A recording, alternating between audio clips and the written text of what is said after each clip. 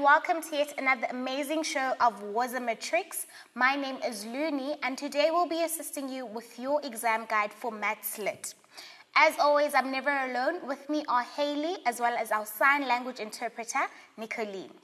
Don't forget, guys, we do have some exciting competitions, but I'll give you all of those details later on in the show. Don't forget to hit us up on our Facebook page and all our other social media platforms. Just search for Wazimatrix. Thank you so much, Haley, and over to you. Thanks very much. Welcome, Matrix. Today we are going to be looking at paper one and exams time prep and what you need to know in order to conquer this exam. So let's go to our first page. Right, the paper one and what it actually looks like. So, first of all, we've got 150 marks and three hours or 180 minutes. Now, I'm going to take a pause right now and I want to actually show you how to work out how many marks you need to do per minute. So I'm going to look at this as a ratio. I'm going to write it here. So I've got 150 marks in 180 minutes. So I want to know how long I've got. Now I always write my question mark, that's my minutes, how long I've got for one mark. I'm going to work out this as a ratio and I'm explaining how I do the ratio. I write it out like this. My known is at the top, what I've been given, and then my question mark on the second line. Then I take the number that is above my question mark, which is 180, and I multiply it, and I always multiply it by the second number over the first, so 1 over 150. And I'm going to do that on my calculator exactly like that, and I'm going to get 180 times by 1 over 150, and I see that I get the answer of 1.2.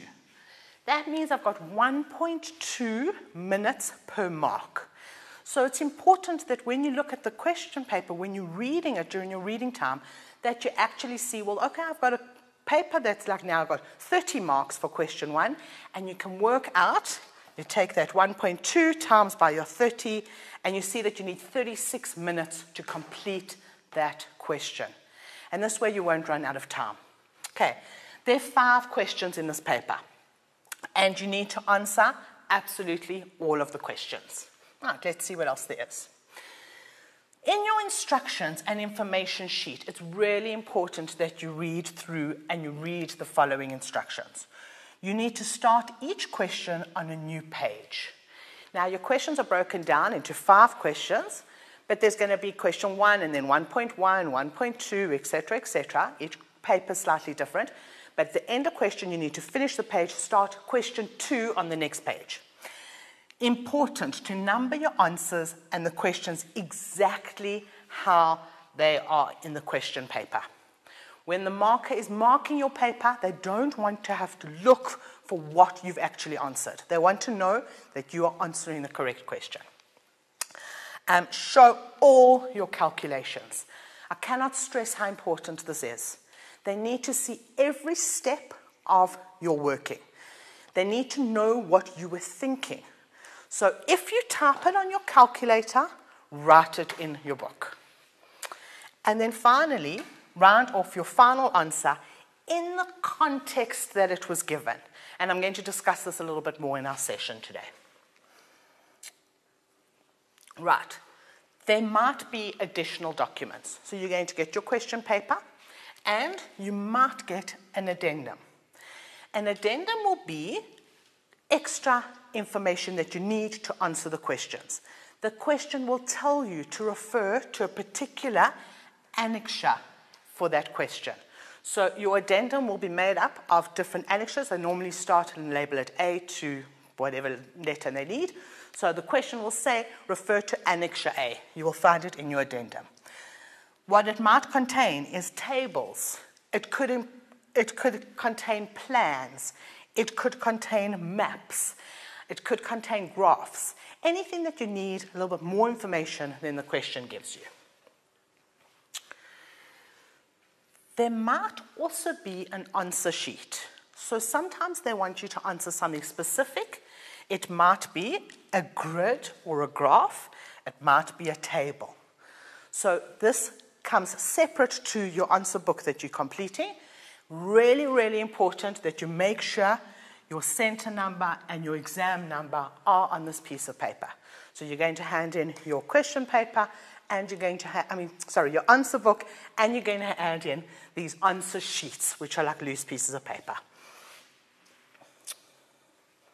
Right. More details of the questions. So, question one is a short context. There's a variety of contexts, meaning variety of different stories. And information is given in different ways. So that question one is going to more detail. There will be different calculations. You might need to do a calculation involving a percentage. You might need to use ratio. So remember how I explained how to use ratio. I think I'll have an opportunity to show you that again. Conversions of units. There might be data handling, and there might be probability. Question two, on the other hand, let's change our pen. Question two, on the other hand, is definitely finance.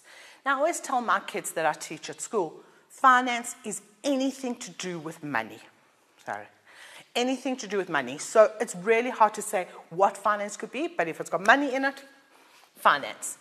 You might have different bills, accounts, a tariff system. I'm going to do a tariff system with you today. VAT calculations, really important. And VAT calculation also comes back to our percentage that we discussed that could come up in question one. Income, expense, profit, loss, um, could be graphs, could be rounding of numbers. Anything to do with money at all is question two. Question three is our next section, which is our measurement. Now, I know historically this is the kind of question that everybody goes, oh no, I can't do this, but I promise you, you can. Okay? Conversion of units. That will come up under measurement. Calculations, use, dealing with perimeter, surface area, maybe volume. Those are all different things that would come into our measurement question. These are the kind of things where you'll get pictures of like a garden or a house. Okay.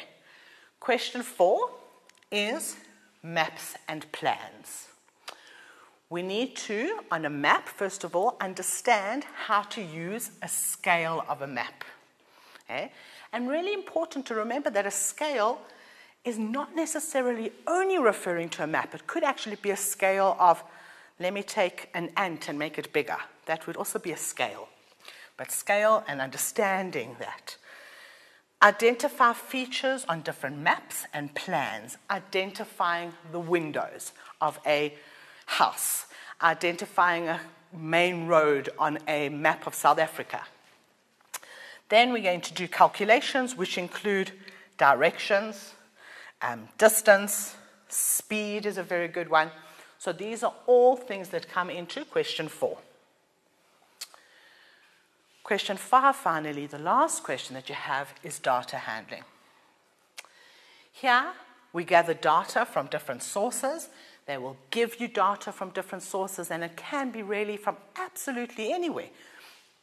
And then finally, we do calculations. We kind of looked at central tendencies. So I'm just quickly going to recap. What are our central tendencies? We've got our average averages. We call those our central tendencies, our averages. Uh, can't spell today. Okay? And those include my mean, which is my average. Mean, we add them all up and divide by how many there are. We've got our median. Our median is the middle number. That's got a D. It's the middle number, and they must be in order.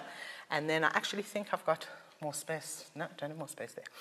Um, and then my mode is my most often occurring. That's got an O for most often occurring. It's important that you know the difference between those three words.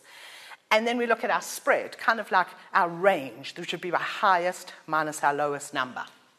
Okay? What other questions could we expect? We can also represent this data graphically. This is a very important skill to be able to identify pie charts, be able to work with pie charts, bar graphs, and histograms. And then finally, you would also have probabilities based on data. Probability is one of the sections that you learn through school, but it's not a particular question on its own. It normally comes into one of the other four question, five questions that we have in the paper. I just quickly want to show you the difference between these graphs. So first of all, your pie chart, okay? So I'm going to just look at a pie chart, just draw a random pie chart, not the best circle. And just to remember that your pie chart is 100%. Because very often they ask you for a missing piece. Like what percentage is missing? So to remember that a pie chart is made up of 100%. Then the most important, and I'm going to use this in, in my blue, is the difference between your bar graph and your histogram. And I just want to show you these because they're so easy to get them confused. So your bar graph and your histogram. They're both going to look the same when you look at the graph. You've got your frequency on that axis and you've got your category down there. Not going to necessarily draw it. Your bar graph, what you need to think about is if we are, and I mean, I know most of our homes have got burglar bars.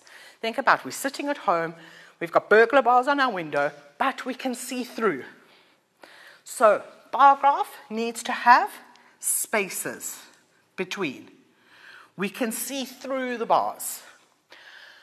On the other hand, a histogram tells you a history and a story. So it has the word history, and that will be ones that are connected, where your bars are actually connected to each other. So it's a quick, easy way to see what's the difference between a histogram and a bar graph. The other thing you can think about or you can look at is your histogram is for continuous data. There's a specific order and I can't change that order. So what I mean by continuous is you will have something that'll maybe go from zero to one to two to three.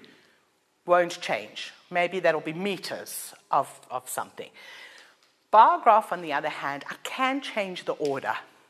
So I can decide actually if this was blue, oops, blue, can't spell blue. Let's try to erase that. Okay, that was blue and this was pink.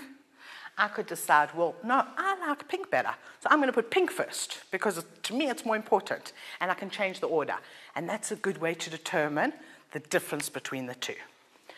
So that takes you through,